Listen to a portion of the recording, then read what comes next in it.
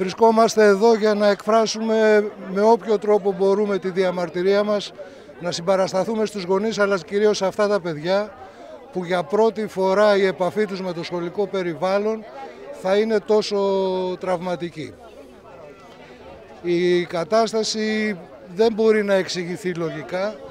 Νομίζω ότι κανείς λογικός άνθρωπος δεν μπορεί να δεχτεί ότι μετά από τρία χρόνια συν ένα χρόνο παράτασης τα πιτσιρίκια της Νέας Μύρνης είναι καταδικασμένα να ζήσουν δύο, τρεις, τέσσερις μήνες άγνωστο για πόσο σε αυτό το περιβάλλον που κάθε άλλο παρασχολείο θυμίζει. Επίσης θέλω να σας πω ότι σήμερα υπάρχει μια οικονομική επιτροπή με θέμα μέσα στα θέματά της και την παράταση αυτής της ε, κατάστασης δεν γνωρίζουμε για πόσο καιρό. Είναι προφανής οι ευθύνες της Δημοτικής Αρχής. Η μόνη εξήγηση είναι η αδιαφορία, η ανικανότητα, η έλλειψη ενσυνείδησης. Δεν, πραγματικά κάποιος ε, δεν μπορεί να καταλάβει τι ακριβώς ε, συμβαίνει και βρισκόμαστε εδώ σε αυτή την κατάσταση. Στο συγκεκριμένο σχολείο, περιγράψτε παρακαλώ το πρόβλημα.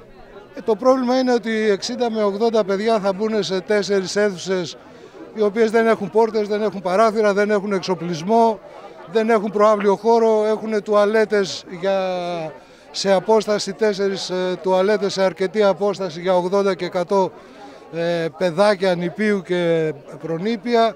Ε, ο άβλιος χώρος δεν έχει διαμορφωθεί, είναι γεμάτος οικοδομικά υλικά.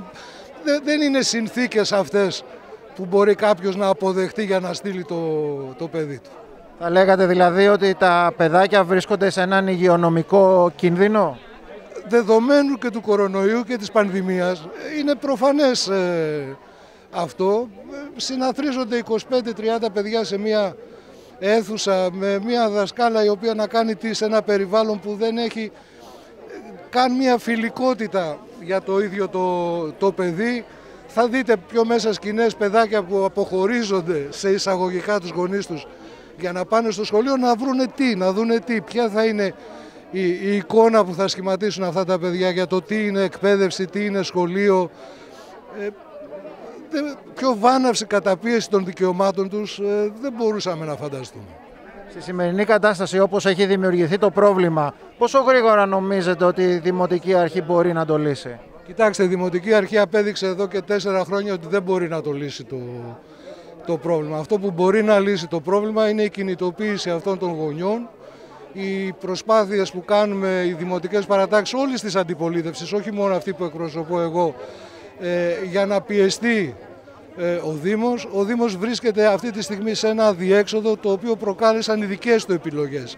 Δεν είναι αντικειμενικό αυτό το αδιέξοδο. Θα μπορούσαν και κατά καιρούς έχουν προταθεί στο Δήμο λύσεις. Έχουμε ζητήσει διαπαραταξιακή επιτροπή, υποσχέθηκε ο Δήμος εδώ και τρία χρόνια συζητάμε για να δούμε πώς μπορεί να αντιμετωπιστεί το θέμα. Στην ουσία τη συγκάλεσε μία φορά, δεν τη ξανασυγκάλεσε γιατί προφανώς δεν του αρέσανε οι, οι προτάσεις και οι, και οι σκέψεις.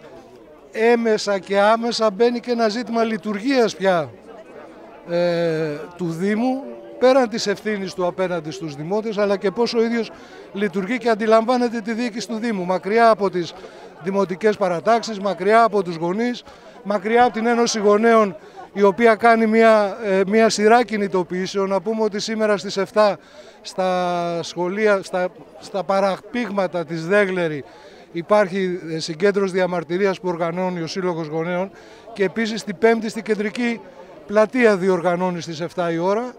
Καλούμε και εμείς, συμπαραστεκόμαστε σε αυτόν τον αγώνα και καλούμε όλους τους νεοσμηριούς, ακόμα και αν δεν έχουν παιδάκια του νηπιαγωγείου, πρέπει να στηριχτεί αυτή η προσπάθεια, πρέπει να στηριχτεί αυτός ο αγώνας, πρέπει να δοθεί άμεσα μία λύση για αυτά τα παιδιά.